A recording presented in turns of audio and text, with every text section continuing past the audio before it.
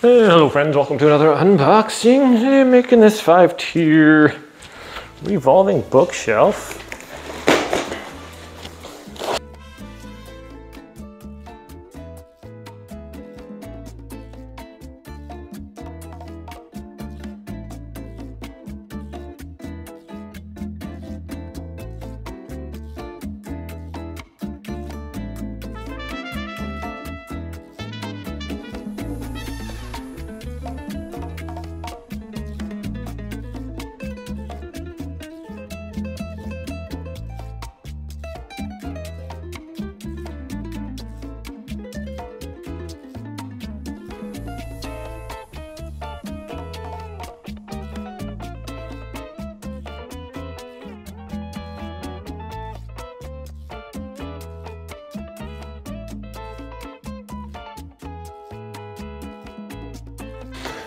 Okay friends, well, I put quite a few books in here and I still got room for like a lot more. So it's pretty nice. Takes up not very much space at all. I mean, if you had like a normal bookcase, you know, this is kind of cool. It just rotates and just takes up this little space right here.